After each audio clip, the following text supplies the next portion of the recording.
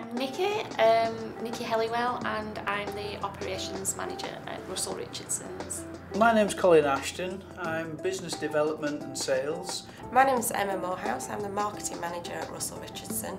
None of our customers have got the same requirements, so it's all about tailoring specifically to what they require. You treat each client separately, independently, and you provide what they require.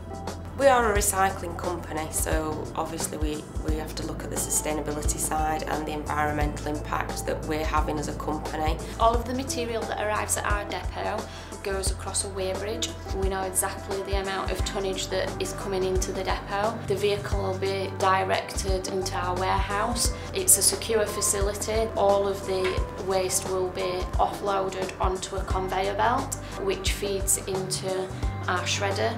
It's a Lindner Micromat 2000 which is quite a large beast. It shreds all of the material the shredded material is then dropped onto another conveyor which is fed into our baling system that then bales all of the shredded paper waste. Articulated vehicles come into the depot, they're loaded onto the vehicles and they go off to UK recycling mills. Shredding and then recycling is a real key element in business today. It goes to two local pulp mills which are then converting it back into tissue product which you and I can buy back into the supermarkets or the janitorial supplies. We have a 99% recycle target and a zero to landfill target. If the product isn't recycled into another product, it will go down the waste to energy route.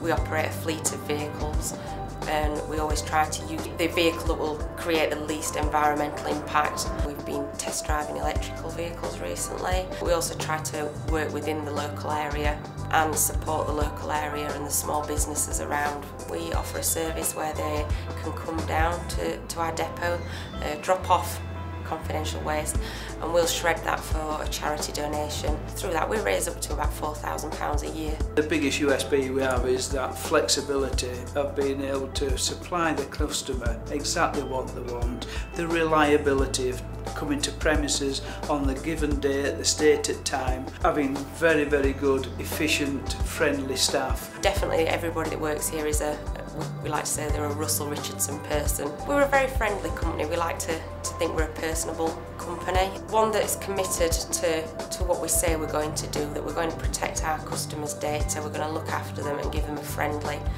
flexible solution to all their problems.